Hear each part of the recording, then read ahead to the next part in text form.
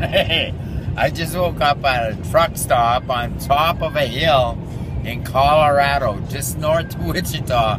And I got out to gas up and I'm in my shorts and my muscle shirt. And wow!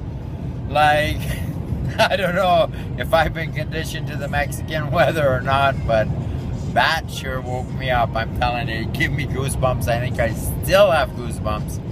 And this is like five minutes after I left the truck stop. So, if you live in Mexico for the winter, be prepared for the wow factor when you're heading back north. Just like the birds, I guess, when they're heading south for the winter because uh, it's cold.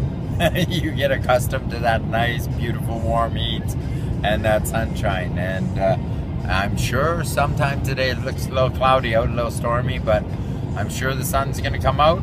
We're heading to Kansas City, and in Kansas City, watch out, here comes the postcards for DSD, Unit of Prosperity. Sorry, people, but that's what the rest of this trip is about, is uh, me putting postcards out for a test trial for my team. So here we go, and uh, I'm gonna cut out for now.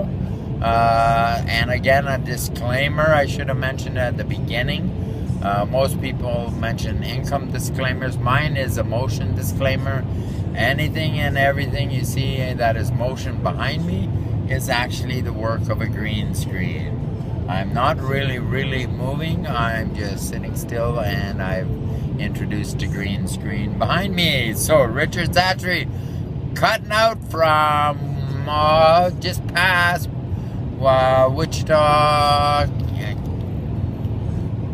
Colorado. Bye now.